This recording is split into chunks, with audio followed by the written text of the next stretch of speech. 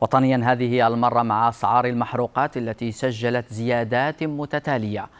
فمنذ بداية شهر غشت الجاري وبلغت الزيادة في ثمن المحروقات ما بين درهم ودرهم ونصف للتر مع اختلافات بسيطة حسب شركات التوزيع. معظم محطات الغازوال والبنزين سجلت ارتفاعات متفاوتة ومتتابعة منذ الأسبوع الأول من هذا الشهر وهي الزيادة التي تعزى بالأساس إلى انخفاض الإمدادات وارتفاع الطلب العالمي في فصل الصيف حيث بلغت أسعار النفط مستويات مرتفعة بمجمل الأسواق العالمية.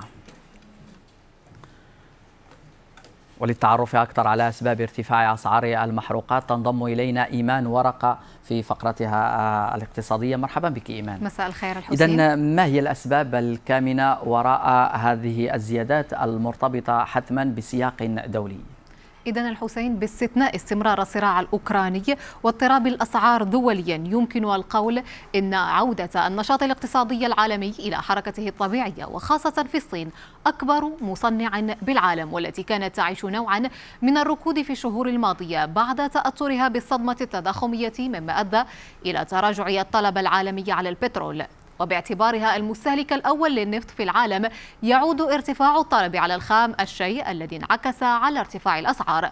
وعلى المستوى الوطني تعرف فترة الصيف ارتفاع الطلب على المحروقات في المغرب وبالتالي ارتفاع الأسعار الشيء الذي يتوقع أن يؤثر على أسعار الاستهلاك نظرا للتأثير المباشر لهذا الارتفاع على تكلفة إنتاج ونقل المواد الأساسية. بالتأكيد إيمان نطرح السؤال الموالي كيف يمكن لأسعار المحروقات أن ترفع من معدل التضخم؟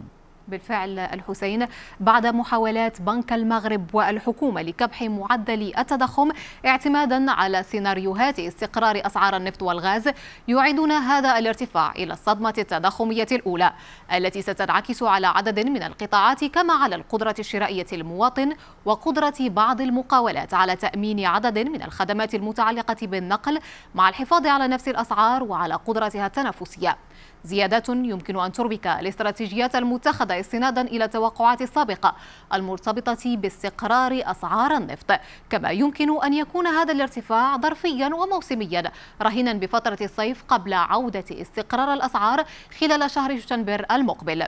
لكن هذا التفاؤل لن يطول حتى فترة الشتاء المقبل إذ يتوقع أن تشهد ارتفاعا في أسعار المحروقات والغاز نتيجة ارتفاع الطلب من قبل مجموعة من الدول.